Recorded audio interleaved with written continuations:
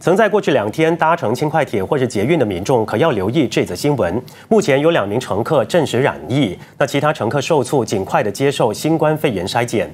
Rapid Rail 私人有限公司今天促请在星期四早上八点到九点乘坐轻快铁格拉纳在野干线。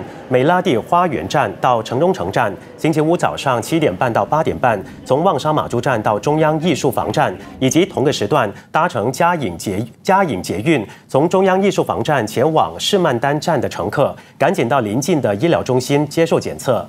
Rapid Rail 也提醒乘客时刻正确的佩戴口罩，或尽可能佩戴双层口罩，同时遵守防疫标准作业程序。如果出现症状，应该避免搭乘列车。所有列车每天晚上也。会进行消毒，确保乘客安全。